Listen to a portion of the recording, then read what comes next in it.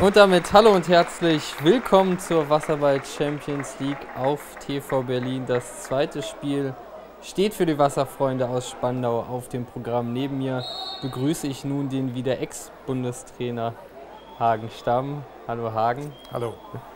Deutsch-italienische Duelle im Sport sind immer relativ prestigereich. Was erwartest du dir heute vom Spiel? Ja, dadurch, dass wir mit 8 zu 6 einen Superstart in Nizza im ersten Spiel hatten und äh, gewonnen haben und damit mit 3-0 Punkten in die Saison starten, äh, eine besondere Brisanz. Hier nachzulegen in Brescia wäre fast schon eine Sensation, aber wahrscheinlich ist Brescia der Gegner, den man äh, am ehesten jetzt noch äh, ähm, schlagen kann. Und warum dann nicht in Brescia? Die Spandauer haben den Ball geholt am Anfang, dann aber leider Jetzt äh, dann den Ball wieder verloren. Jetzt eine schöne Verteidigungsaktion ähm, vom Center-Verteidiger. Äh, in dem Fall war es Luke Gielen. Ähm, ich glaube, dass wir, dass wir insgesamt eine, eine, stärkere Mannschaft als im letzten Jahr haben. In Nizza war noch ein bisschen schwierig am Anfang. Jetzt sehr schöne Chance, Konter gerade. Dedovic ist das. Ah, ja, er kriegt den Ball nicht ganz rein. Also schade, der trudelt so auf der Linie lang. Das wäre natürlich ein super Anfang jetzt mit dem 1 zu 0 gewesen. Schade, das wäre so genau die Führung, die man braucht. Kurz zur Orientierung noch. Die Italiener sind jetzt im Ballbesitz. Hat noch eine schöne Wurfchance. Haben die weißen Badekappen auf. Spandau von links nach rechts mit den schwarzen Badekappen ist jetzt im Ballbesitz und es ist auf jeden Fall ein sehr flotter und munterer Spielbeginn. Ja, schon wieder Konter. Jetzt Marin Restovic alleine. Der Italiener hängt da hinterher, der muss aufs Tor gehen. Hat er zu lange gezögert und jetzt hätte er viel mehr Platz. Oh, schade. Er versucht über Kopf. Wäre in dem vielleicht besser, in dem Fall besser gewesen, lang flach oder kurz flach, aber von hier sagt man das natürlich jetzt recht leicht. Also da sieht man aber, wie gut die Konterchance ist, jetzt die zweite. Und genau, er versucht über die Hörner zu schießen und äh, genau da ist der Torwart mit beiden Händen da.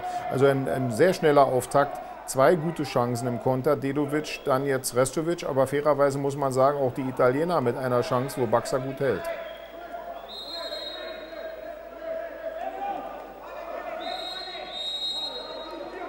Und Konterfoul vorne bei Matteo Czuk war Marin Restovic, der den Ball hatte, aber der Schiedsrichter entscheidet vorne auf Konterfoul und damit haben die Italiener jetzt ihre 30 Sekunden Angriffszeit. Die Bälle werden immer recht schnell nach vorne getragen. Nächste Möglichkeit, nächste Parade. Ja, Center-Position vom Center aus, aber Baxa im Tor ist da. Und es geht wieder in die andere Richtung. Also wenn wir es mit der letzten Partie vergleichen, da wurde doch relativ viel gepresst und äh, mit dem Gegenspieler relativ wenig Platz gelassen. Ich glaube, die Verteidigung jetzt aktuell kommt den Spandauern äh, sehr entgegen. Das ist Marco Stamm jetzt. Schade, am Tor knapp vorbei. Ein bisschen, glaube ich, sogar noch äh, die Latte streffen. Ähm, ja, die, sie spielen nicht Press. Brescia lässt Spandauer, den Spandauer Luft, den Ball anzunehmen. Ich glaube, das ist für Spandau gut. Also die Verteidigung von Nizza äh, hat den Spannern überhaupt nicht gefallen. Die haben sofort gepresst über das ganze Feld und jetzt ist ein bisschen mehr Luft, ein bisschen mehr und schnellere Zonenverteidigung, das heißt zurückgezogen beim Center. Ich glaube, das äh, mögen die Spandauer lieber. Gegen Lattenkreuz. Ja, es geht jetzt hier los, das ist ja Wahnsinn. Nur noch kein zählbarer Erfolg, aber äh, auch der ja, sehr schöner Schuss von dem äh, Italiener mit der Nummer 8, Nora. Den hätte man auch nicht halten können. Das, äh, Na, ich glaube, den hätte Baxer dann vielleicht nicht gekriegt. Also jetzt inzwischen schon zwei sehr gute Chancen auf beiden Seiten. Ausgeglichener Anfang. Man sieht es jetzt wunderbar, die Italiener stehen in der Zone. Spandauer versucht das. Und das 1 zu 0. Boah, toller Schuss von Luke Gielen, ja, muss man, muss man sagen, aus, ja, ich sag mal, acht Metern bestimmt. Sehr schöner Schuss. Trocken, flach, Sehen Sie in der Zeitlupe? Ja gut, da ja, passt wenig zwischen. Ja, Torwart hat auch so ein bisschen geschlafen vielleicht und hat mit dem Schuss aus der Distanz nicht gerechnet. Und natürlich jetzt ein sehr guter Auftakt. Wir hätten schon 1-0 führen können, das hätte vielleicht das 2-0, aber wir hätten uns auch nicht beschweren müssen, wenn es jetzt äh, schon, schon ein Tor mehr gewesen wäre. Für die Italiener, also von daher jetzt Führung auswärts, sollte erstmal Ruhe bringen.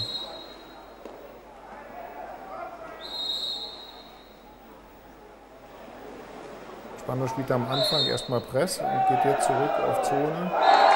Hey. Ja, aber ich glaube, den gibt ja, er ja, nicht. Nein, ich glaube, den gibt er nicht, weil er drin im, im, im, Feld war oder gibt dann doch. Ich dachte, er ist in 5 Metern, er hat das Tor gegeben. Also ist das, ist das 1 zu 1. Ich dachte, dass der Schuss vielleicht sogar im 5-Meter-Bereich war. Dann darf er nicht direkt aufs Tor schießen. Baxer hat ein wenig geschlafen, hat vielleicht mit dem Schuss nicht gerechnet. Ähm, man darf nur direkt den Freiwurf werfen, wenn man außerhalb der gelben Markierung ist, also außerhalb des 5-Meter-Bereiches. Für mich war es drin, aber es ist natürlich auch so ein bisschen vielleicht Heimvorteil. Ähm, ein schöner Pass da eigentlich auf äh, den einen Schwimmer. Schade, kommt Marco Stamm nicht richtig ran. Und noch 14 Sekunden Angriffszeit, also eigentlich noch genug Zeit. Kreuz. Ja, wieder. Das, das ist jetzt okay. Der hätte auch drin sein können. Vielleicht Ausgleich für den italienischen Lattentreffer davor. Das ist ja übrigens der Lungo, der italienische Nationalmannschaftstorwart, einer von beiden. Äh, insgesamt drei oder vier, muss man eigentlich sagen, italienische Nationalspieler hier im Wasser und auch noch ein paar, die bereits vorher italienische Nationalspieler waren. Serben und Montenegriner im Wasser, also eine bunte Mischung auf Seite von Brescia und da kommt der nächste 5-Meter-Schuss und den hält Baxa super. Also das ist sehr schwer von der Mitte des Tores. Kann sich der Schütze jetzt eigentlich beide Ecken aussuchen, versucht es über Kopf und Baxa hält den.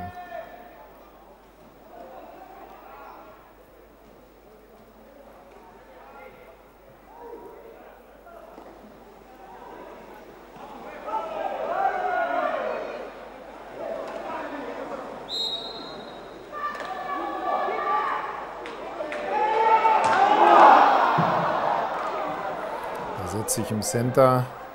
Äh, das ist äh, Ubovic, setzt sich da sehr gut durch und da haben wir eigentlich Glück, dass er wieder an die Latte geht. Also bisher munteres Scheibeschießen, Scheibenschießen hier beim, beim Tor und die Torwärter halten auch ein bisschen. Spielstand 1 zu 1 eigentlich für die Torchancen viel zu niedrig bisher. Kommt der Pass genau vorne, als sich Remy Saudadier ist in der Center-Position da, glaube ich, gewesen. Äh, gerade wegbewegt vom Ball. Dann kommt genau der Pass im falschen Moment und damit die Italiener wieder im Angriff. Und Unterzahl. Und ein Timeout durch den Trainer Bovo, der Italiener, der schon sehr lange Trainer bei Brescia ist, der eigentlich schon so ein bisschen wie die Fliesen im Schwimmbad dazugehört. Und damit jetzt Überzahlmöglichkeit für Italien. Die erste gespielt bisher, die erste Überzahlsituation. Ja, bisher ging es ja immer nur Konter, Konter, Konter die ganze Zeit und hin und her und sehr äh, schöne Schüsse. Aber jetzt muss leider Luke Gielen da raus, wo ich ehrlich sagen muss, äh, ich habe auch nicht richtig erkannt, er ist ohne Ball. Er war auf dem, auf dem Angreifer hinten drauf, ist ohne Ball rausgeflogen. Vielleicht auch so ein bisschen so eine Konzessionsentscheidung jetzt. Zwei Schiedsrichter, äh, einer aus Ungarn, einer aus Griechenland, beides gute. Ähm, da sieht man auch nochmal das Tor. Er schießt das Tor und muss jetzt leider hinten dann in die Unterzahl raus. Zwei Schiedsrichter aus guten Wasserballnationen. Ich habe da keine Rausstellung gesehen in der Center-Position ohne Ball, aber die Schiedsrichter haben anscheinend da mehr rein interpretiert, als jetzt zu sehen ist.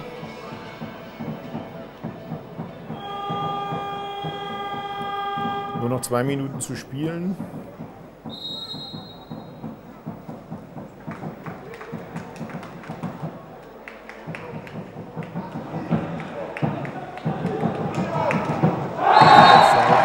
relativ schnell abgeschlossen, aber entsprechend der richtige Lösungsansatz. Ja, von der Mitte auch. Ja, da ist äh, Paskovic, ein montenegrinischer Nationalspieler, nicht sehr groß, aber da sieht man, ja, Remy Saudadi ärgert sich. Er hat die Ecke eigentlich, äh, ist zuständig für die kurze Ecke und der wird ihm aber knapp am Arm vorbeigezogen. Ist natürlich von der Mitte auch, ähm, der Schütze kann sich das ganze Tor aussuchen.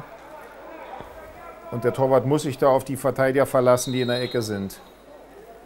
Damit leider aus dem 1 zu 0, aus der 1 zu 0 Führung jetzt ein 1 zu 2 Rückstand aus Spandauer Sicht.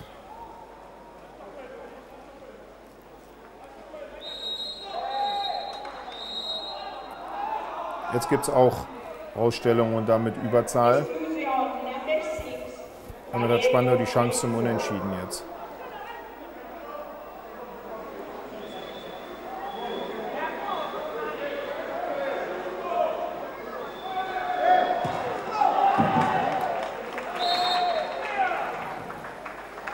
Der leider Tor war dran. Lungo, den hat er sehr schön gehalten.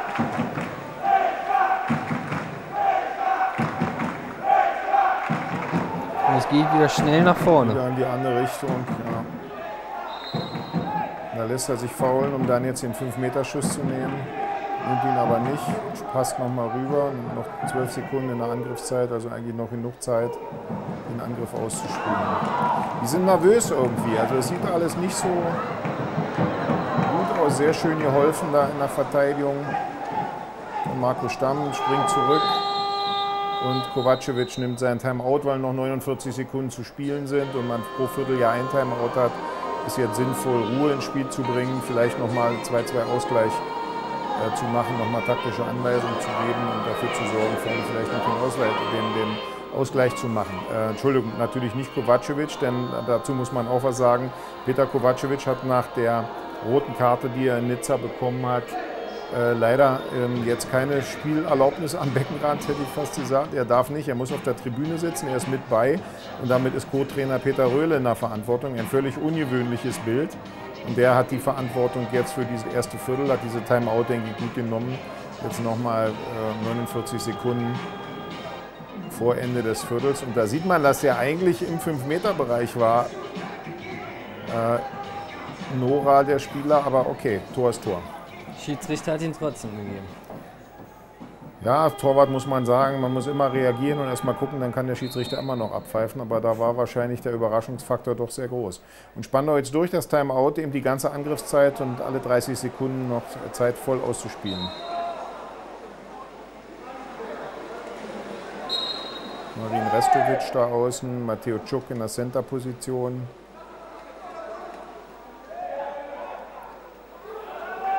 Oh, da wird er in die Fliesen gedrückt und der Schiedsrichter macht Zeichen, ja, weiterspielen, weiterspielen war nichts. Also er war unter Wasser und konnte überhaupt an den Ball nicht rankommen. Der italienische Verteidiger hatte beide Hände raus äh, oder beide Hände drin in dem Fall äh, und hat ihn eigentlich gefault.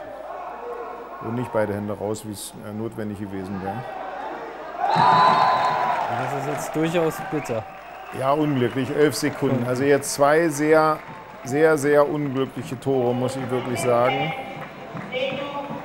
Bertoli, der zweite Center.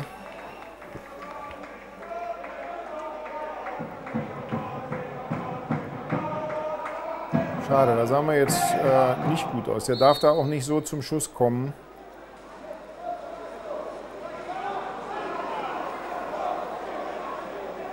Jetzt nur noch fünf Sekunden zu spielen. Jetzt gibt es noch eine Rausstellung, aber der bringt natürlich nicht viel. Da wird Spandau wahrscheinlich gar nicht mehr schießen, sondern sich bemühen, im zweiten Viertel dann den Ball zu holen. Ja. Doch, er versucht es noch. Wahnsinn. Dedovic mit einem, ja, eine Sekunde vor Ende des Viertels, aber da muss man dann natürlich jetzt auch Glück haben. Ja? Äh, eine Sekunde vor Ende des Viertels ist mutig, die Überzahl zu nehmen und dann auch zu schießen, damit 3 zu 2. Und er nimmt den und da sieht der Torwart Lungo nicht gut aus bei dem Schuss. Da schläft er auch ein bisschen. Also auch das war jetzt Ausgleich. Äh, und damit 3 zu 2 sieht erstmal gut aus. 3 zu 2 nach Viertel 1. Wir machen eine kurze Pause und sehen und hören uns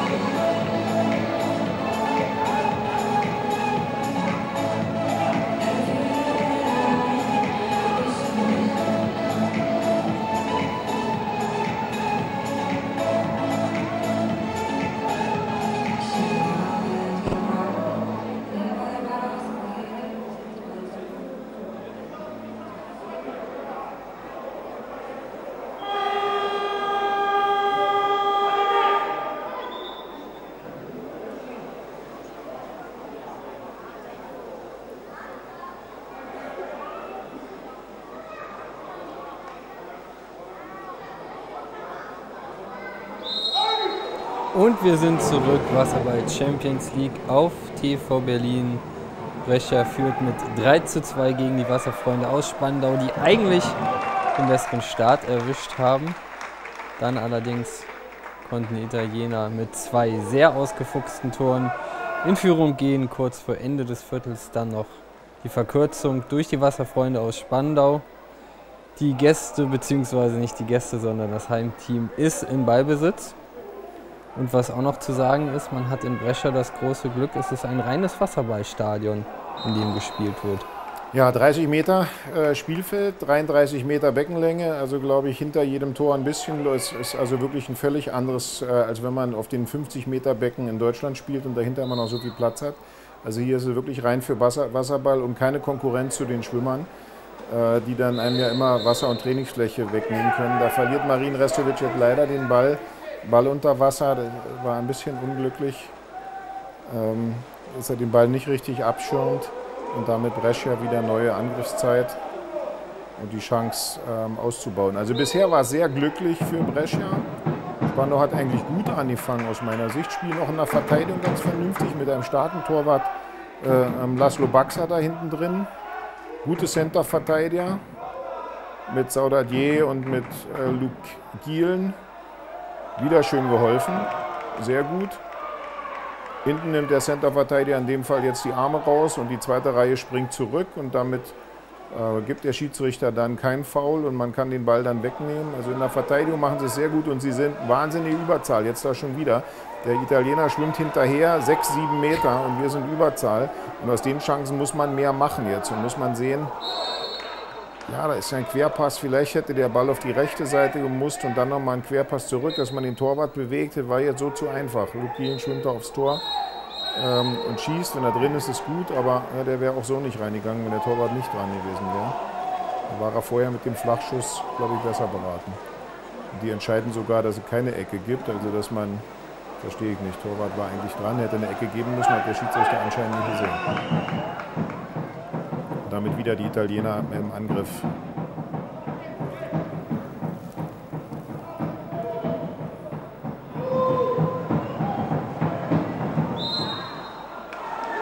Auch sehr schön gute bewegliche Zone, stehen drei Leute so zurück und springen. Baxer springt mit raus, Center-Verteidiger kriegt jetzt da auch einen Stürmerfoul und wieder Überzahl. Jeder Konter sind die momentan durch. Also es ist Wahnsinn. Der, der, Italiener von Brescia hängt da hinterher, aber unsere Leute schwimmen nicht bis zur Grundlinie durch.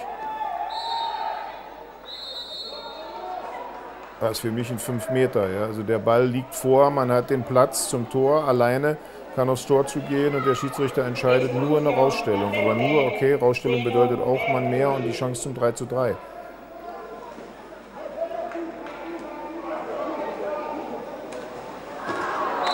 Das war richtig gut gespielt. Durch die Mitte, schön gespielt. 3 zu 3 Ausgleich.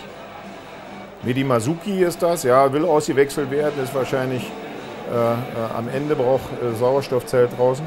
Also, ähm, aber wunderschöner Pass von Luke Gielen, Medi Masuki hoch raus, man sieht die Badehose, hier in der Zeitlupe auch nochmal ganz toll und legt den flach unterm Arm als Aufsetzer rein. Also tolles Tor und 3-3, damit ist das Spiel wieder offen. Hier sehen wir jetzt Peter Röhle nochmal als Trainer auch nicht jeden Tag, dass er am Beckenrand in der Hauptverantwortung ist.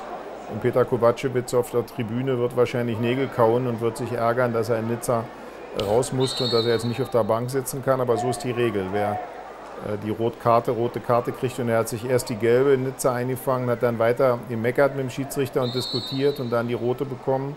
Unnötig. Ähm, aber Peter Röhle macht das bisher hier äh, gut und 3-3, denke ich, ist ja gute Ausgangsbasis.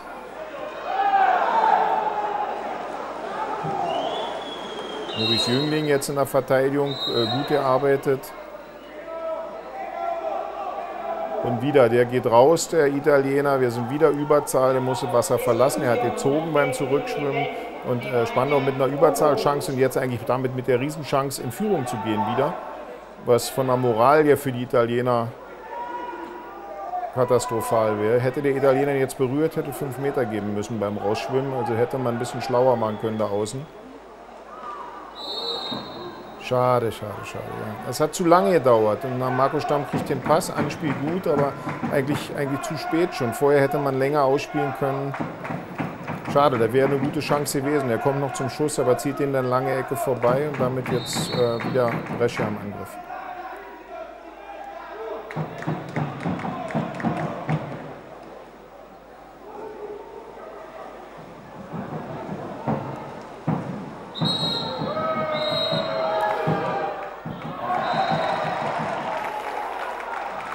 Eine tolle Entscheidung vom Schiedsrichter. Sehr mutig. Sehr, sehr mutig, muss man sagen. Presciuti, Italiener, der jüngere der beiden Presciutis, die spielen da beide. Die äh, Spandau kriegt ja eine Rausstellung, weil ein Spandauer Spieler zu radikal, zu doll einsteigt und also so fast an der Grenze zum Schlagen. Und der Presciuti versucht dann direkt zu schießen, steht aber in dem 5-Meter-Raum. Und weil er von da nicht direkt schießen darf, gibt der Schiedsrichter dann äh, Stürmerfaul und gibt das Tor nicht, weil der Schuss nicht erlaubt war. Also eine sehr mutige Entscheidung bei einem Heimspiel. Spricht für die Klasse des Schiedsrichters jetzt in dem Moment, dass sie das Tor nicht geben.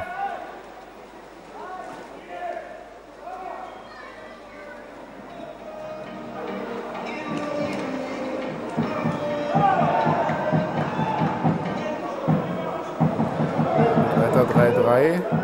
Spandau spielt jetzt auch Zone zurückgezogen. Wird jetzt acht Sekunden wird der Abschluss von da kommen.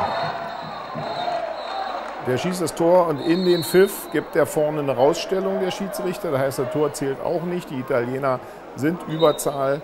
Meckern natürlich, dass er genau in den Schuss hinein jetzt pfeift. Ist wieder äh, Presciuti der gleiche. Hat jetzt ein bisschen Pech, dass der Schiedsrichter Überzahl, oh, eine doppelte Überzahl. Jetzt äh, zwei Italiener mehr Vier Spandauer nur in der Verteidigung, sechs Italiener am Angriff. Das ist zu viel.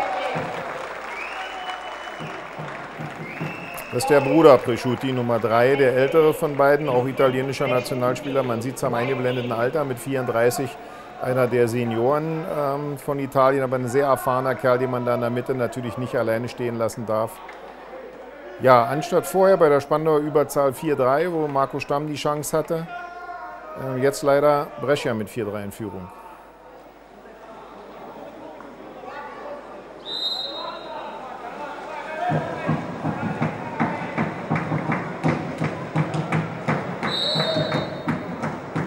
Lukas Küppers jetzt im Wasser, haben wir da gerade gesehen.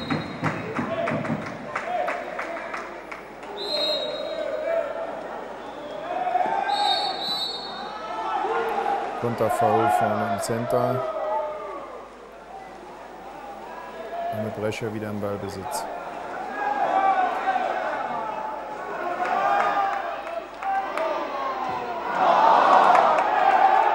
Riesentat von Baxa.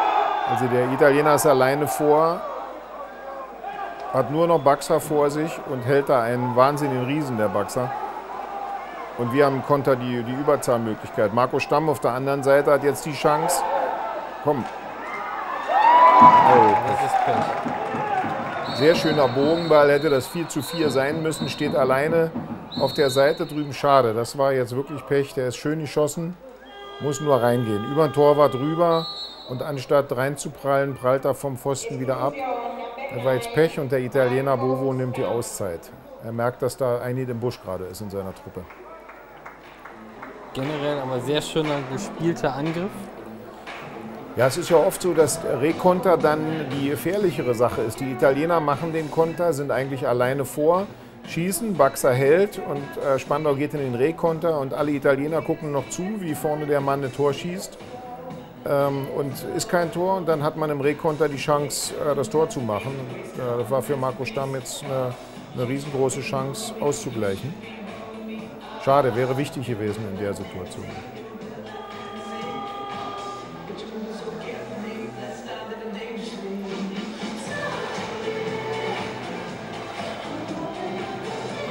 Ja, man sieht viele Zuschauer in der Halle. Ne? In Italien ist Wasserball äh, sehr populär. Brescia ist die zweite Kraft in Italien, hinter Prorecco Genua. Aktuell beide, glaube ich, noch ungeschlagen in der Liga, weil sie noch nicht gegeneinander gespielt haben. jetzt mit der Überzahl die Chance auf zwei Tore wegzuziehen.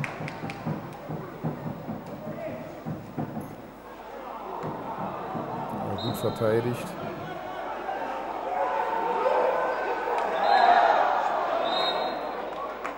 Und noch eine Rausstellung, gleich dahinter die nächste. Ja, ich glaube, Tobias Preuß ist das jetzt, der nochmal das Wasser verlassen muss. Und damit haben die zweite Mal hintereinander jetzt nochmal die Chance. Doppelte Überzahl. Oh, Baxa, wahnsinnig gut aufgepasst. Der Pass sollte auf den Spieler hinter ihm kommen, der dann das leere Tor hätte eindrücken können. Und Baxa springt raus und fängt den Ball ab. Also jetzt diese doppelte Überzahl, kein Tor zu kriegen, spricht für eine klasse Verteidigung in der Unterzahl.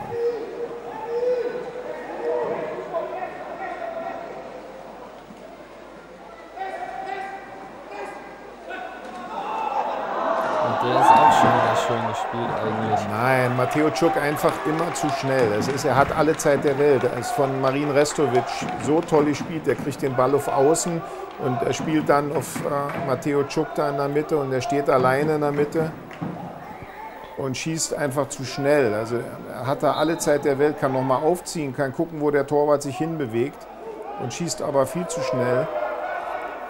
Schade, das hätte das 4-4 sein müssen. Baxer toll gehalten.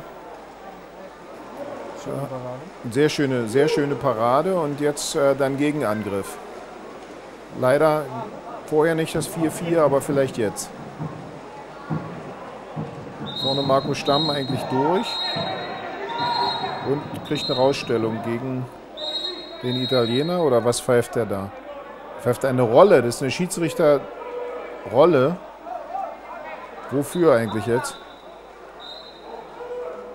Rolle gegen Marco Stamm, gegen den Spandauer Kapitän. Also für mich völlig unklar, was der jetzt da. Es kann nur wegen Meckern oder wegen. Boah, das ist natürlich ein Hammer jetzt. So. damit sind die Italiener Überzahl. Jetzt gilt es erstmal, das Gegentor zu verhindern. Ja, und Marco ist damit fürs ganze Spiel raus. Also Rolle heißt, er kann nicht mehr eingesetzt werden. Das ist natürlich jetzt eine Schwächung. Baxer hält erst mal. Ja, Baxer hält, toll. Und noch 20 Sekunden. Ja, das habe ich jetzt überhaupt nicht verstanden. Keine Brutalität, nichts war zu sehen und, und eigentlich auch nichts zu hören jetzt irgendwie, dass einer meckert, oder?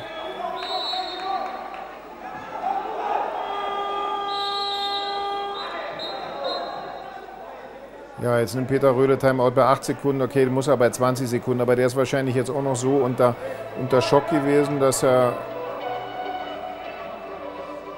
Marco Stamm da verliert jetzt. Dass er nicht sofort, wenn Baxer den Ball hält, muss er eigentlich Timeout nehmen. Hat er jetzt so 10 Sekunden, sind leider schon von der Angriffszeit rum und nur noch 8 Sekunden zu spielen. In 8 Sekunden wird jetzt wenig zu machen sein. Jetzt waren aber wirklich ein paar sehr unglückliche äh, Sachen dabei. Also die Entscheidung vorne, ich habe es eher so gesehen, dass der Italiener raus muss, weil er aufschwimmt auf äh, Marco Stamm, der vor ist. Und jetzt gilt es darum, das wegzustecken, ne, zu verkraften und jetzt äh, die zwei, drei Chancen, die vorne gewesen sind, um das 4 zu 4 zu machen, zu vergessen, neu anzufangen, in die Viertelpause zu gehen und vielleicht bei den acht Sekunden jetzt noch einen guten Torschuss zu machen, wäre natürlich Wahnsinn, oder neun sind noch zu spielen vielleicht doch noch äh, das Unentschieden zu machen und nicht lange über die, die Rolle nachzudenken.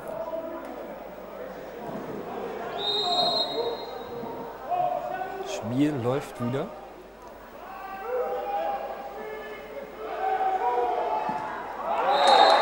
Wurf kommt, allerdings gehalten.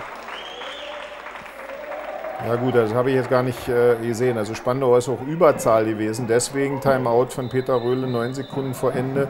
Und damit kommt noch die Torschusschance für Luke Gielen, der den ersten so schön getroffen hat, aber der Torwart hält. Und damit ist noch eine Sekunde nur zu spielen. Ball ist in der Ecke, in einer Sekunde fällt kein Tor mehr. Also mit dieser Überzahl jetzt vielleicht auch so ein bisschen eine Konzessionsentscheidung oder eine Kompensation äh, dieser, dieser Ausstellung, die ich bisher immer noch nicht verstehe. Also was er da gepfiffen hat. Wir machen eine kleine Pause, versuchen derweil die Herausstellung zu verstehen und kommen dann mit dem Ergebnis dieser Gedankensuche dann gleich zurück.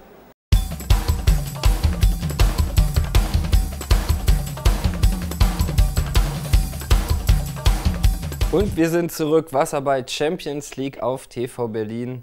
Die Wasserfreunde aus Spandau liegen zurück mit einem Treffer und müssen auf den Kapitän verzichten.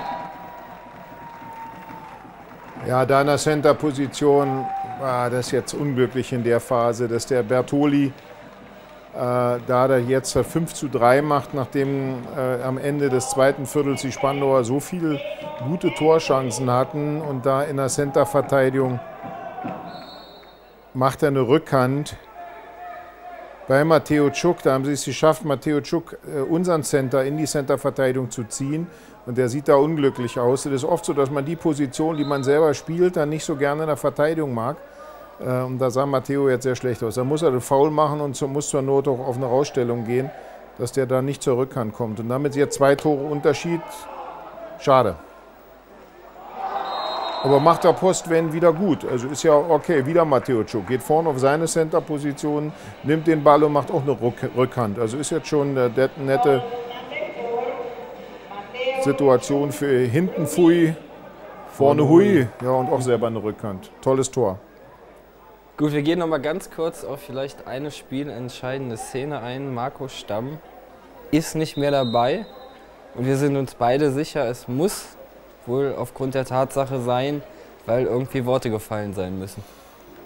Ja, sehr schwer. Also der Italiener hat was gesagt. Ich bin gar nicht sicher, ob Marco überhaupt was gesagt hat. Ich hoffe, dass der Schiedsrichter, wie gesagt, äh, da nicht, also es sieht eher nach einer, nach einer wirklich bösen Fehlentscheidung aus. Aber okay, wir sind jetzt hier nicht so nah dran, dass wir ähm, da jeden Wortlaut oder jede Gestik und Mimik gehört haben. Aber es ist schon ein bisschen komisch. Und es kommen jetzt auch so ein paar äh, äh Entscheidungen, die irgendwie so zeigen, jetzt leider, leider sieht aus wie ein 5 Meter. Also da ist der italienische Center, in dem Fall jetzt äh, Ubovic, vor und äh, unser Verteidiger kann nur noch zugreifen und der griechische Schiedsrichter muss dann äh, den 5 Meter geben, den es jetzt gleich geben wird und damit die Chance für die Italiener wieder 6 zu 4 in Führung zu gehen. Also eine sehr unglückliche Situation. Wir werden nachher sicherlich nochmal analysieren können, was wirklich passiert ist. Schiedsrichter gestikuliert, dass er äh, gemeckert hat und Überkopf bei Baxa jetzt leider zum 6 zu 4 die Italiener. Schade. Spandau war mehrfach dran, unentschieden zu machen. Rizzo, ehemaliger italienischer Nationalspieler mit der Nummer 6, macht da sehr schönes Tor, auch mit 32 Jahren, schon ein bisschen älter. Äh, sehr abgezockt. Ja, hoch in Angel, gar nicht über Kopf, sondern wirklich hoch in Angel, da war nichts zu halten.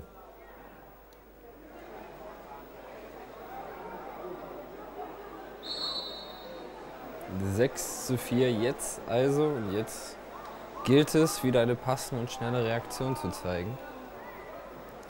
Sehr ärgerlich, weil äh, zwei oder dreimal lag das Unentschieden zum 4-4 in der Luft. Dedovic jetzt da hart bedrängt. Lugilen. Und die Italiener stören jetzt auch ein Stück weit früher ja, stören. Jetzt kommen sie aber zur Zone zurück, weil sie vorne in der Center-Position. Oh, das war jetzt ein Missverständnis. Da geht der Ball zu Medi Masuki, der denkt, dass außen noch Moritz Oehler ist, aber der ist schon auf dem Rückweg gegangen. Da war gar keiner mehr, wo er den Ball hinspielen wollte. Sah jetzt ein bisschen konfus aus. Ist so schade, ist jetzt sehr schwer für die Jungs natürlich zu verkraften, zu sagen, Mensch, okay, wir hätten unentschieden machen können. Wir spielen bisher hier ein gutes Spiel, gerade in der Verteidigung muss man sagen, machen sie eine sehr gute Partie heute. Spielen sehr schöne Zone. Baxer hält entsprechend, passt jetzt gerade wunderbar mit zwei Händen sogar. Wir haben ganz viele Konter im ersten Viertel gehabt, wo wir Tore hätten machen müssen. Äh, die Italiener hätten sich nicht beschweren dürfen, wenn sie jetzt aktuell zurückliegen würden. Aber so steht es leider, ist die Realität zwei Tore für die Italiener.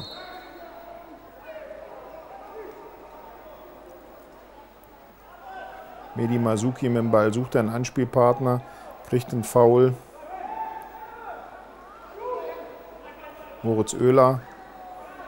Da war überhaupt, da spielt er den Ball dem, dem italienischen Verteidiger in den Arm. Also da war ein Anspiel auf Center unmöglich. Also es sind jetzt wirklich Unkonzentriertheiten, die nicht schön sind. Gerade von so einem alt äh, erfahrenen Spieler wie Moritz Oehler, der schon zig Jahre Nationalmannschaft gespielt hat. Schade, da ist jetzt irgendwie so ein bisschen der Riss drin. Ich hoffe, dass sie nochmal zurückkommen.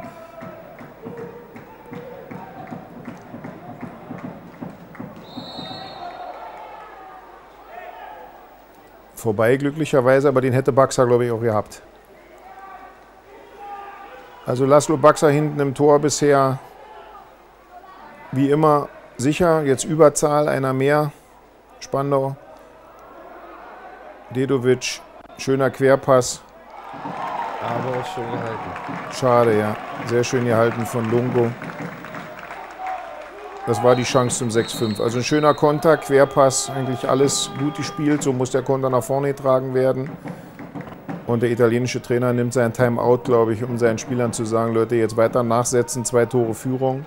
Und damit jetzt erstmal Timeout und damit vielleicht auch für Peter Röhle die Chance, taktisch noch ein paar Anweisungen zu geben, um das wichtige Anschlusstor zu machen. Hälfte der Spielzeit im dritten Viertel ist vorüber. Sieht hier wunderbar nochmal den Schuss. Er muss, wenn der aufsetzt, also er ist eigentlich in der Mitte vom Tor, er kann das, ist seine Distanz von Luke Giel, kann von da die Tore machen. Er hat das 1-0 genau aus einer ähnlichen Position gemacht, aber leider jetzt nicht drin. Das wäre natürlich jetzt mit 6-5 eine gute, gute Antwort für die Querelen vorhin und für die Unsicherheiten, was da mit dem Kapitän Marco Stamm passiert ist. Aber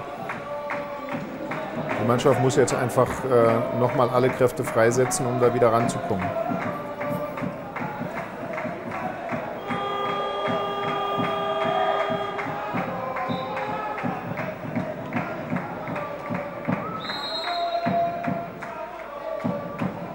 Spiel läuft wieder.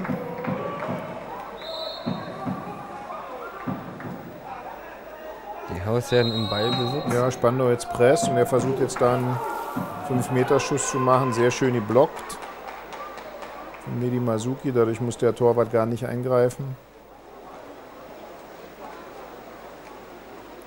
Ist jetzt öfter passiert. Baxer sucht einen Anspielpartner und findet so schnell keinen. Also es ist dann, äh, die Konterchancen sind vorbei. Anders als im ersten Viertel. Der Pass war auch wieder unkonzentriert. Da ist der Italiener eigentlich vor und er kriegt den Ball vorgelegt, nicht der Spandauer Spieler.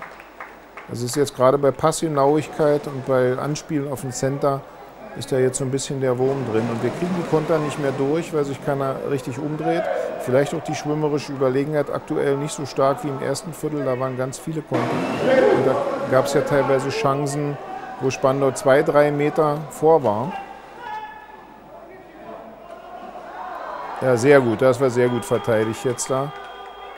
Er möchte das Foul zum 5-Meter-Schuss anders als in Deutschland im Übrigen. In Deutschland ist so, jeder Schiedsrichter pfeift oft in Deutschland Foul, auch wenn gar kein Foul ist und macht es dann mit dem Angreifer leicht. Hier international ist es völlig anders. Die Spieler müssen um den Ball kämpfen, um einen 5-Meter-Foul zu kriegen. Äh, dann sollten die deutschen Schiedsrichter sich mal da die gleiche Konstellation. Man muss kämpfen, wenn man nicht nachsetzt. Jetzt nimmt in dem Fall der Italiener dem Spandauer den Ball weg.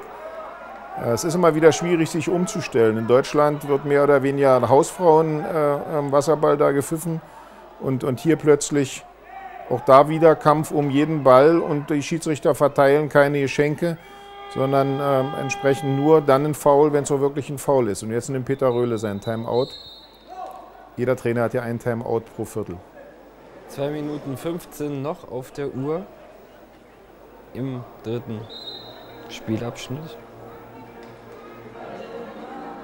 Ja, es ist ein generelles Problem. Die Liga in Deutschland ist ähm, äh, da einfach, da müssen vielleicht die deutschen Schiedsrichter auch ein bisschen umdenken. Es kann nicht sein, dass wenn beide Hände vom Verteidiger raus sind, dann muss man die schwierige Frage stellen, womit er dann faulen soll, wenn beide Hände raus sind. Und dann geben die Deutschen immer schon so ein bisschen äh, von wegen Entwicklungshilfe dann Fouls in der zweiten Reihe, wo es überhaupt keine Fouls sind und wo man damit den Spielfluss durcheinander bringt und dem Gegner zu leicht dann einen 5-Meter-Schuss ermöglicht. Das ist hier international völlig anders, wie man jetzt hier gerade an den letzten drei Szenen gesehen hat. Da muss man um jeden Ball kämpfen, ansonsten kriegt man keinen Freiwurf.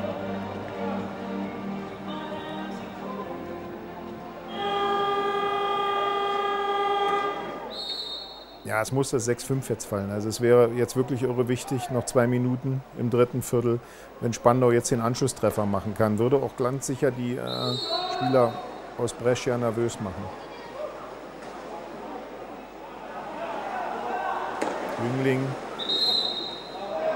Und da gibt es eine Rausstellung. Da wird vorne in der Center-Position so doll eingestiegen bei Chok, dass der Italiener auch ohne Ball Wasser verlassen muss. Und damit hat Spandau jetzt die Chance mit der Überzahl den Anschlusstreffer zu machen. Sehr wichtige Szene im Spiel jetzt. Restovic, Jüngling.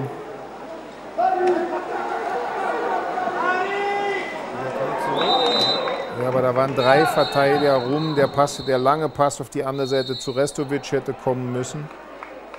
Äh, und nicht der Pass auf Chuk, wo drei Leute drum stehen. Wenn ich es jetzt richtig gesehen habe, fliegen wir noch raus. Also ist dann die doppelte Höchststrafe. Schlechten Pass gespielt und dann auch noch äh, jetzt rausfliegen in dem Fall. Schade, der Ball hätte zu Restovic zur anderen Seite und so haben die Italiener jetzt die Chance, drei Tore wegzugehen. Das wäre natürlich, glaube ich, so ein bisschen Vorentscheidung Ende des dritten Viertels. Hoffen wir, dass Spandau den jetzt abwehren kann und den nicht reinkriegt. Aber da kommt Spandau wieder und komplett auch gut. Also da kommen die Italiener und die spielen auch einen schlechten Pass. Also die sind auch nicht vom anderen Stern. Ähm, die sind hier heute zu schlagen, muss ich deutlich jetzt im dritten Viertel nochmal sagen. Sie sind lange nicht so souverän, wie man sie aus den vorigen Jahren kannte. Sie haben auch einige Abgänge zu verzeichnen. Und Spandau ist da auf Augenhöhe, aber macht bisher den Sack da nicht zu.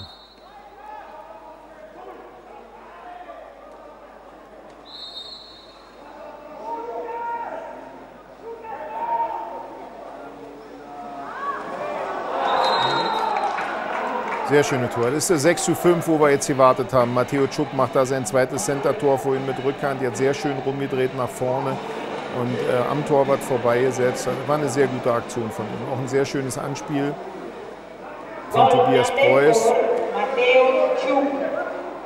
Ja, und der schmeißt da Gegner und Ball mit rein, aber das ist egal. Tor ist Tor, 6-5, kurz vor Ende des dritten Viertels. Jetzt wäre es wichtig, nicht ein 7-5 zu kriegen, sondern äh, mit einem Torrückstand ins letzte Viertel zu gehen. Dann ist alles möglich. Dann ist hier die Sensation vielleicht noch möglich, dass man hier Punkte mitnimmt oder einen Punkt mitnimmt.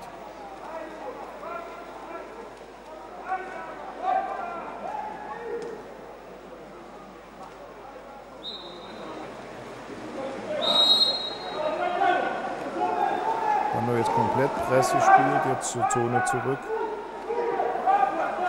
Und noch 10 Sekunden auf der Angriffszeit. Oh, da pfeift der Schiedsrichter, der eigentlich für die Seite gar nicht zuständig ist. Da drüben der Ungar, der auch die Rausstellung von Marco Stamm gepfiffen hat, pfeift jetzt noch eine Rausstellung bei 20 Sekunden, obwohl der griechische Schiedsrichter hier auf der Seite eigentlich der Angriffsschiedsrichter ist und nichts pfeift. Ähm, ein bisschen seltsam an sich, dass da von hinten einer reinpfeift. Aber die Italiener nehmen das Geschenk natürlich gerne an und haben mit der Überzahl jetzt die Chance, wieder mit zwei Toren in Führung zu gehen. Das Spiel natürlich Ja, schlecht auch verteidigt jetzt. Ja, das ist äh, Napolitano, auch ehemaliger englischer, englischer, sage ich schon, italienischer Nationalspieler. Ähm, auch schon weit über 30. Mittelmann muss da eigentlich mit dran sein. Schade. Also es ist jetzt wirklich, sie kämpfen sich ran, sie kommen wieder ins Spiel und kriegen jetzt 14 Sekunden vor Ende des Viertels. Das 7-5 ist noch nicht verloren. Man kann in einem Viertel locker zwei Tore aufholen. In der letzten Champions League-Saison haben wir mal vier aufgeholt oder äh, sogar das vierte dann äh, äh, am Ende noch des vierten Viertels. Also es ist alles möglich, aber mit einem Tor wäre natürlich besser.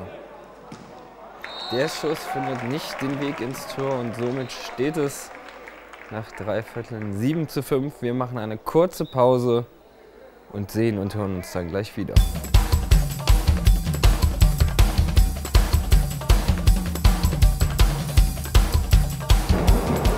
Und wir sind zurück, Wasserball Champions League auf TV Berlin. Es läuft jetzt das letzte Viertel in der Champions League Partie. Brescia gegen Spandau 7 zu 5 für die Italiener, aber auch die kommen in diesem Spiel nicht von einem anderen Stern. Es ist also noch einiges möglich. Ja, und so ein bisschen das Anschwimmen von Tobias Preuß jetzt vielleicht symptomatisch für das ganze Spiel. Man ist immer ganz knapp dran. Es sieht so aus, als wenn Tobias Preuß den Ball beim Anschwimmen eben holt, aber die Italiener holen ihn dann doch und so funktioniert eigentlich das ganze Spiel. Jetzt schmeißt er den Ball weg, weil Ende der Zeit ist. Er hätte sonst aufs Tor schießen müssen, weil die Angriffszeit vorbei ist. Und damit Spandau jetzt dann doch im, im Ballbesitz. Und jetzt geht es darum, äh, ja, es geht nur, kann nur heißen, schnellen 7-6 Anschluss. Und die Italiener damit nochmal unter Druck setzen im letzten Viertel.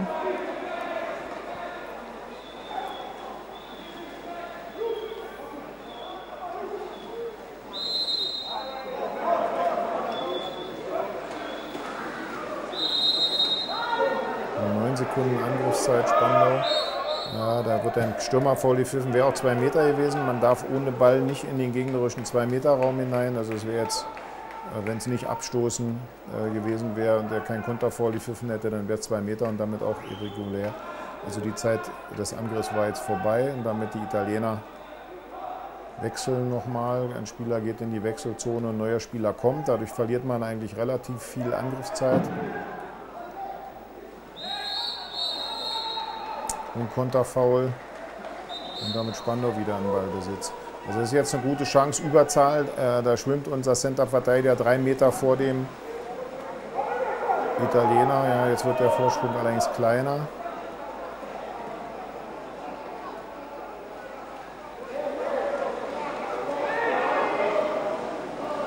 Restovic, Tobias Preuß, Medi Masuki.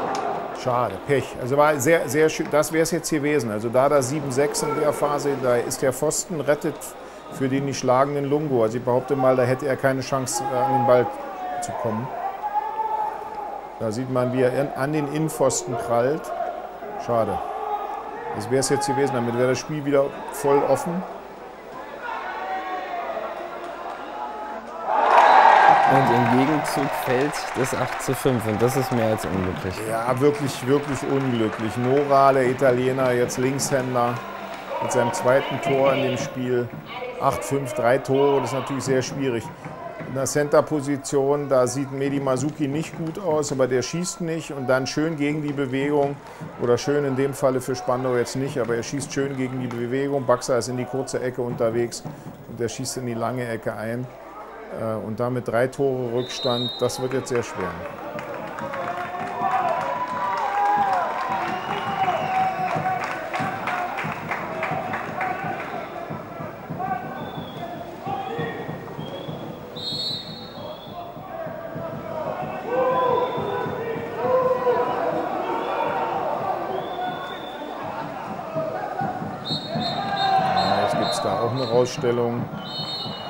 Man da auch das Gefühl hat, der Grieche da drüben möchte jetzt seine Sache von vorhin wieder wettmachen. Wir haben uns inzwischen jetzt erkundigt, also er soll ein Schimpfwort gesagt haben, angeblich, was nur keiner gehört hat. Also ist schon interessant. Äh, ich kenne ein italienisches Schimpfwort, was sich so ähnlich anhört. Also ich hoffe, nicht hören möchten wir alle nicht hören. Ich hoffe, dass nicht der Italiener ein Schimpfwort gesagt hat und äh, der Spandauer dann raus musste. Also wäre natürlich eine sehr unglückliche Situation gewesen und da tolles Tor, tolles Anspiel. Wunderschön herausgespielt. Ja, tolles Tor auf Remy Saudadieda. Also das, das fehlte jetzt. Schade, wirklich schade. Sehr spät, aber eigentlich ist noch genug Zeit. Schöner Pass von Marin Restovic und dann sehr schöner Pass französische Kombination von Medi Masuki auf Remy Saudadier und der legt am Torwart vorbei, der in der anderen Ecke unterwegs war. Damit 8 zu 6, aber noch fünf Minuten zu spielen. Wir müssen ehrlich sagen, in fünf Minuten gehen zwei Tore. Das ist äh, machbar. Jetzt den Fahrtwind des Tors vielleicht mitnehmen und da äh, dann nochmal äh, jetzt den Anschlusstreffer machen. Vielleicht ein glückliches Tor dann auch mal mit ein bisschen Glück heute, dann kann es nochmal eng werden.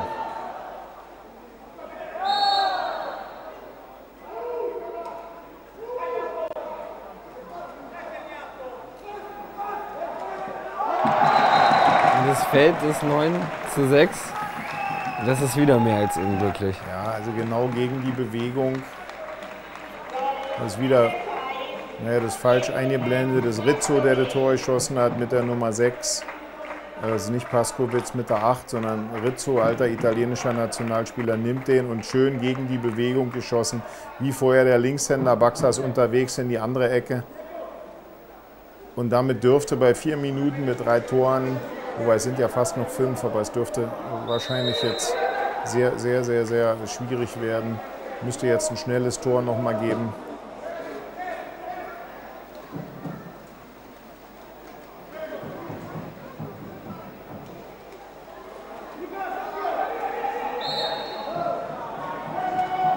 Marin Restovic. Oh, jetzt wird der Ball auch aus der Hand verloren. Kommt der Abschluss. Ja, der Schuss war schön, aber Torwart Lungo hält den und es gibt eine Ecke, damit wenigstens neue Angriffszeit.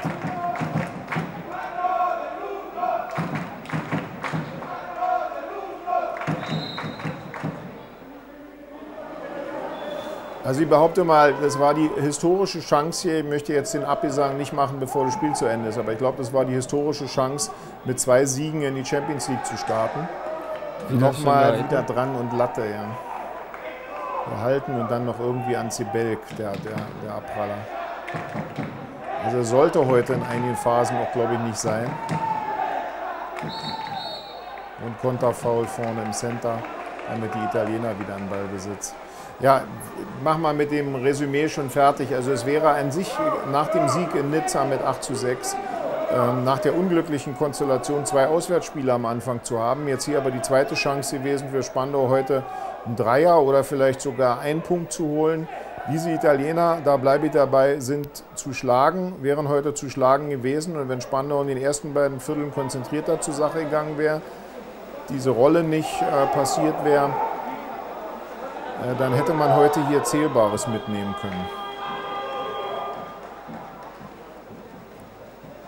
Jetzt plätschert so ein bisschen noch mal vor sich hin da. Also es ist mit 9-6 ist das Spiel jetzt bei drei Minuten entschieden. Die Italiener brauchen nur ausspielen.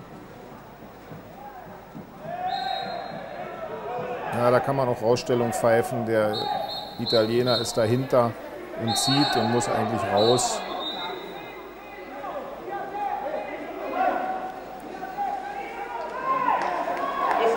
Dann ist Überzahl jetzt.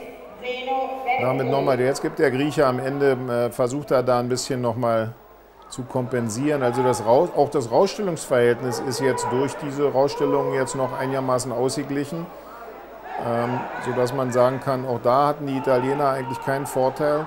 Spandau hatte sehr viel Überzahl, vielleicht zu früh jetzt der Schuss von Tobi Preuß, aber da sind die Italiener auch schon wieder komplett und die nächste Überzahlchance ist verschenkt. Also wir haben zwei sehr schöne Überzahltore gesehen, die beide von der ersten Reihe waren. Einmal Medi Masuki und einmal Remy Saudadier. Und wir haben aber ansonsten heute bei der Überzahl einige ausgelassene Chancen auf beiden Seiten gesehen und Spandau hätte äh, mit einer guten Überzahlquote äh, bei 10 Überzahl ähm, muss man, wenn es gut läuft, 5 machen. Und ich glaube, Spandau hat zwei bisher gemacht. Das ist einfach zu wenig. Und auch die Italiener bei 9 Überzahl nicht unbedingt überragend.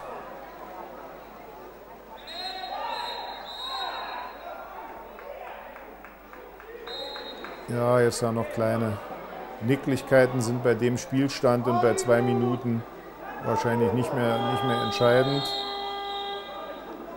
Tobias Preuß und Rizzo haben sich gerne da, umarmen sich.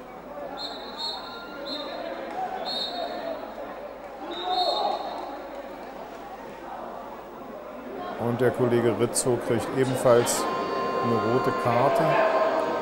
Ja, ist damit weg für das Spiel. Und Peter Röhle nimmt den Timeout. Wird aber jetzt nicht mehr spielentscheidend sein. Er wird den Jungs nochmal sagen, komm, versucht nochmal ein Tor zu machen. Und der Italiener wird seinen Jungs sagen, komm ruhig, lasst euch jetzt nicht mehr provozieren. Das Spiel ist durch bei 9 zu 6. Aus meiner Sicht viel zu hoch. Also es wäre äh, mit einem Tor, denke ich, okay. Aber so glaube ich viel zu hoch und Spandau hätte, wie gesagt, hier punkten können, wenn nicht vielleicht sogar müssen. Aber da hat dieser Herr was dagegen gehabt, weil diese, diese Rolle war äh, völliger Quatsch, die er da gepfiffen hat und auch ein paar andere Entscheidungen. Äh, da war der Ungar heute Zünglein an der Waage.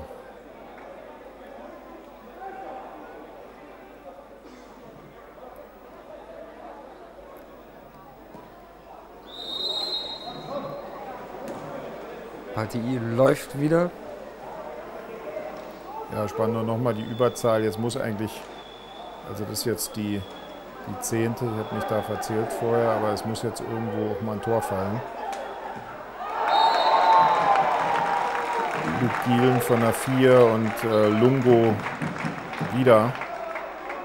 Ich glaube, der Junge ist flach zu erwischen. Hoch hält er momentan alles. Aber noch im Ballbesitz. die Zeit ausgespielt, aber eigentlich vielleicht hätte er nochmal den Abschluss nehmen sollen. Und jetzt Ball unter Wasser. Und die Italiener vorne Überzahl. Aber ich glaube, er muss sich da jetzt nicht mehr, er wird nicht mehr vorne, sondern sie werden ruhig ausspielen und werden die Zeiten runterspielen. Äh, wenn man 30 Sekunden Angriffszeit hat, dann kann man ungefähr rechnen, dass jetzt keine drei Tore mehr fallen können bei noch 1,45. Die werden ihre Zeit jetzt dreimal runterspielen und werden sagen, okay, Spandau schießt doch noch ein Tor. Und am Ende jetzt ein Schuss. Aber da hat er nicht von der Position geschossen. Presciuto, der Kleine mit der Nummer 9, der Jüngere, hat jetzt, glaube ich, das zweite oder dritte Mal in diesem Spiel Pech, dass er ein Tor schießt, der Ball im Netz ist, aber der Schiedsrichter damit immer wieder abpfeift. Er muss von der Position schießen, wo er auch das Foul gekriegt hat. Und wenn er da einen Meter weg ist, dann kann er von da nicht äh, dann entsprechend den Torschuss machen. Und Spandau nochmal Überzahlchance. Also jetzt holen die Schiedsrichter da die Schippe raus und versuchen es von vorhin wieder wettzumachen. Und Spandau nimmt die Geschenke nicht an und macht die Tore nicht. Marin Restovic, Medi Masuki. Blockt. Ja, der Mittelmann blockt. Torwart muss gar nicht einschreiten drei Überzahl in Folge jetzt eigentlich, die alle drei keine Tore sind, wo sogar theoretisch, wenn man sich den Spielstand anguckt, noch alles möglich gewesen wäre. Gut, die Italiener hätten dann mehr Gas gegeben. Bei dem Bogenball Spandau hat noch ein Glück, dass es nicht das 10 zu 6 gibt. Also die spielen jetzt natürlich auch ihr Ding runter, aber mit den drei Überzahl wären da noch Möglichkeiten gewesen.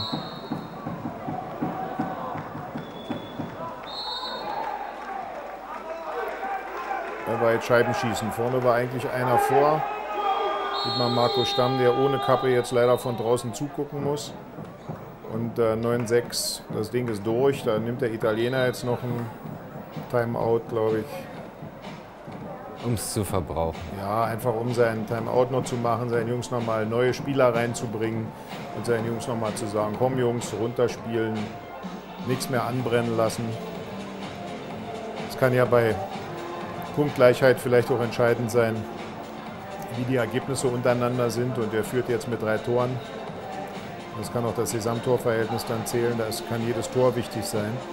Und ich sage mal, die Konstellation ist ja so, dass die ersten drei der Gruppe weiterkommen. Äh, Zollnock als ungarischer Vertreter, aber auch Tabellenführer. Also von daher werden die sowieso wahrscheinlich sich am Ende qualifizieren. Die sind aus meiner Sicht die stärkste Mannschaft in unserer Gruppe äh, und qualifizieren sich, weil Budapest als Ungar äh, ungarischer Hauptstadt Ausrichter des Final Six dann ist. Die ersten drei werden sich qualifizieren. Und äh, es äh, muss eigentlich Brescia geschlagen werden und Nizza geschlagen werden. Und da muss man gucken, dass man vielleicht OSC Budapest, der auch der nächste Heimgegner am 21. Dezember dann ist, ähm, äh, auch schlägt. Äh, und dann hinter Brescia und Olympiakos Piraeus, die für mich äh, die beiden Favoriten in der Gruppe sind, dann als Dritter reingeht, wäre natürlich eine Sensation. Aber da hätte man hier in Brescia heute schon mal punkten können, ein Zeichen setzen können und dann am 21.12. in Berlin nachlegen um 19.30 Uhr. Da gilt es jetzt dann schon. Da muss man zeigen, welche Ambitionen man hat. Aber ich glaube, Spandau wird zu Hause noch mehr Akzente setzen können. Jetzt die Italiener noch mal Überzahl äh, und machen auch kein Tor, finden in Baxa dann noch ihren Meister. Äh, um dann vielleicht mit dem Heimspiel am 21. dafür zu sorgen, dass man dann äh, gegen Budapest gute Karten hat. Also wie gesagt, Budapest und Brescia und Nizza sind die Mannschaften, die man, glaube ich, hinter sich lassen muss. Oder man schafft gegen eine der großen, Piraeus oder entsprechend äh, dann äh, Zollnock ein Sieg. Heute wäre auch mehr drin gewesen, am Ende steht es dann aber doch 9 zu 6. Ich bedanke mich bei dir, Hagen, wie immer, für deinen Kommentar. Das war Wasserball Champions League auf TV Berlin. Und wir sehen und hören uns dann wieder am 22.12. Bis dahin, schöne Tage.